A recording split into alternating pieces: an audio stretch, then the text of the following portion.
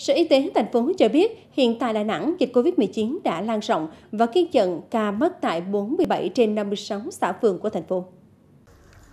Trong đó, các quận Thanh Khê, Liên Chiểu và Cẩm Lệ có 100% số phường có ca mắc COVID-19. Hòa Khánh Bắc, quận Liên Chiểu là phường có nhiều ca mắc nhất với 58 trường hợp.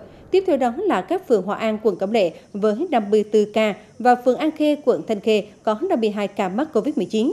Hiện nay thì hai chuỗi lây nhiễm nguy cơ cao liên quan cảng cá Thọ Quang và lò mổ Đà Sơn vẫn đang diễn biến phức tạp. Trong đó thì chuỗi liên quan đến cảng cá đã có 109 trường hợp mắc COVID-19 và chuỗi lây nhiễm xuất phát từ lò mổ Đà Sơn cũng đã có 45 ca bệnh.